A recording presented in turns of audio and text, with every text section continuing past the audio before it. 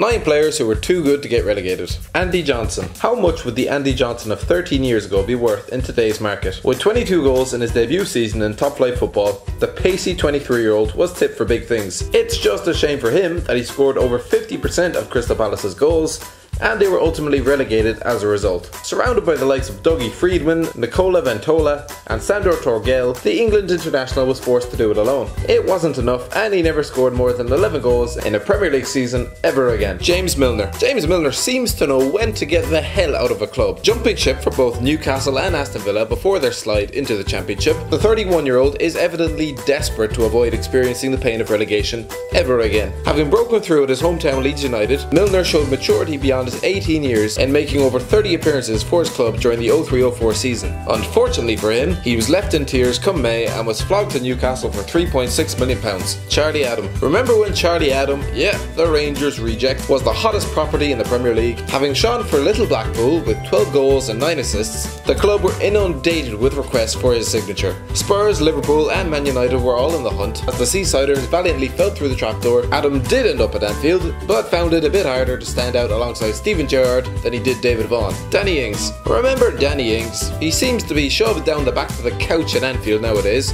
nursing a long-term injury. The 24-year-old has been plagued with injuries since he moved to Merseyside two years ago, playing just 6 league games. It was in his last full season when he scored 11 goals in 35 appearances for Burnley that showcased his talents though. At just 21 years of age, he showed a killer instinct in front of goal and even bagged 5 in 6 games. However, Sean Dyche's men were ultimately relegated in 19th. Darren Bent. For a man who once cost more than Thierry Henry, to see his career nosedive in such a fashion is quite alarming. Darren Bent is only 33 years old and yet looks destined to see out the rest of his days in the championship. This is a man who once scored 24 league goals for Sunderland. That's two less than the amount they've managed all season. It was at Charlton, however, where he rose to prominence bagging 31 goals in 68 games across two seasons, before being unable to save them from relegation. Peter Crouch. It took Peter Crouch to play in a team that got relegated for people to finally take notice of him. Before that, he was just a lanky lad who had surely ended up on a football pitch by mistake. If somebody had told Crouch prior to his move to Southampton in the summer of 2004 that he would be England's leading man at the next World Cup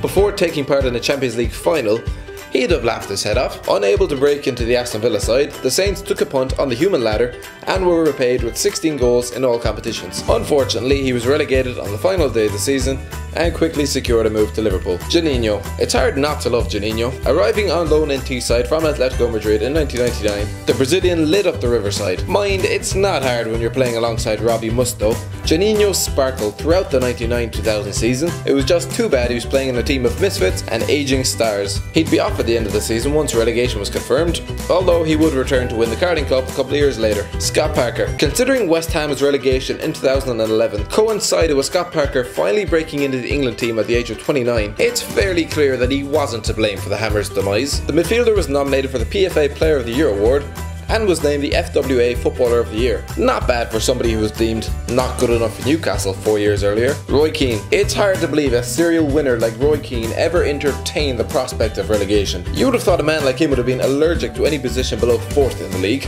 It was, of course, at Nottingham Forest where he experienced such pain, finishing 22nd during the 92-93 season before swiftly engineering a move away from the club. Rocking up at Old Trafford, he would never have to hear the word relegation again, except when Alan Smith arrived in floods of tears in 2004.